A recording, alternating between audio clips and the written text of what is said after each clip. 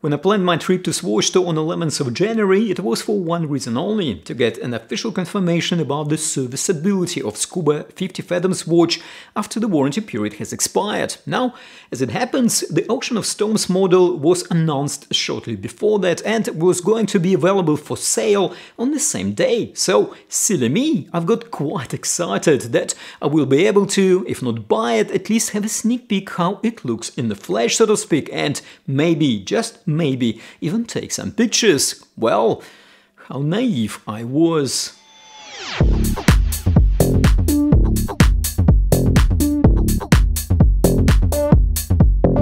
Hello and welcome back. So yes, I went to Oxford Street Swatch Store in London where I bought my Indian and Pacific Ocean editions of Scuba 50 Fathoms back in September last year.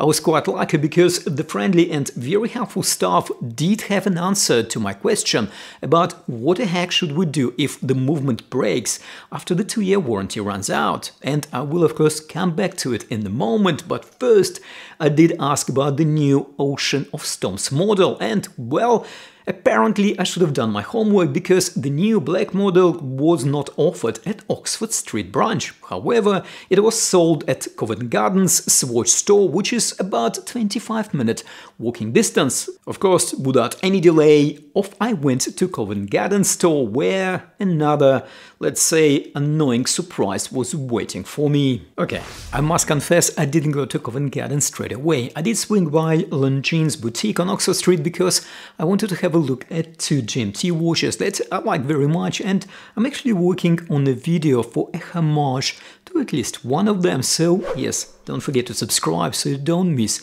that upcoming review. Back to my Covent Garden fiasco, when I finally made it to Swatch store, it was an early afternoon and a very friendly staff member behind the till informed me that the new black model was now all sold out, which wasn't a surprise and I thought it is actually good because it meant that the interest in these blank Blancpain collaboration watches is still very strong. However, what was a surprise, at least to me, was the fact that they had no display model, no sample, nothing, which meant that I couldn't take any pictures of this new watch. Disappointing, to say the least, taking into account all the clever marketing by Swatch Group around these collaborations, I think not having a display model of this new non-limited edition is a missed opportunity, especially in such busy areas like London Oxford Street or Covent Garden, where people literally come to spend money. So I hope that Swatch will make a display models available soon and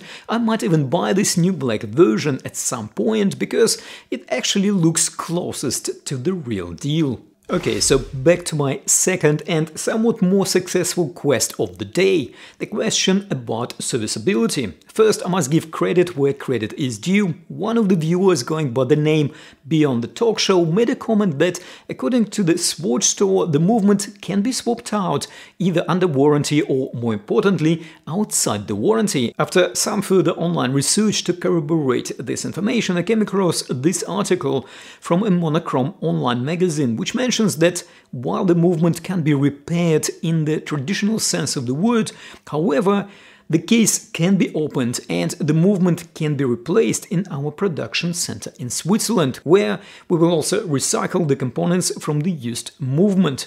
However, apart from this article, I couldn't find any more information and more importantly, nothing official from Swatch Group themselves. And that was the reason that I went physically to the store to hear their stance on this issue straight from the horse's mouth, so to speak. So here is what I was told by the friendly staff at Swatch store.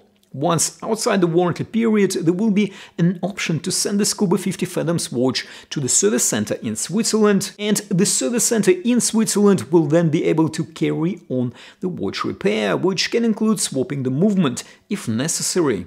In terms of the cost, it will be decided on a case-by-case -case basis, and as I was told, the best Swatch can do is to provide a quote ahead of the repairs, so the customer can then decide either to go ahead with the repair or not. So the main takeaway for me was that the Scuba 50 Fathoms does not become a $400 disposable watch after two-year warranty expires, and it can be serviced after that. Of course, the price of the service is still a question, however, in my books, this is a big step in the right direction.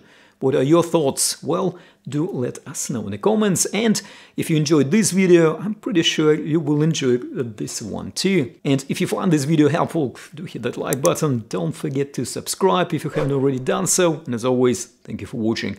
Take care, and I'll see you in the next one.